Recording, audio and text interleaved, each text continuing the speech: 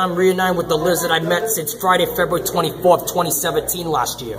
All the way from Grand Cayman Islands in the Caribbean. Meet the blue iguana. That's a beautiful iguana and also an endangered species.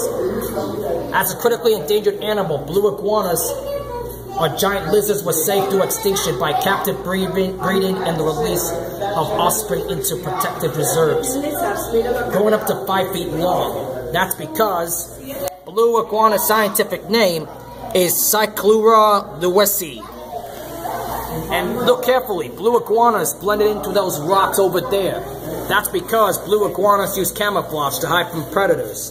Just like the Lesothosaurus from South Africa in the Jurassic time period. Without blue, that's because WCS organization, for the first time in history last year, has a blue iguana on exhibit. I already got a picture of one, selfie, and now it's going to be video recorded for my YouTube channel. To help blue iguanas around the Grand Cayman Islands near the Caribbean, donate to WCS at 2300 Southern Boulevard in Bronx, New York 10460.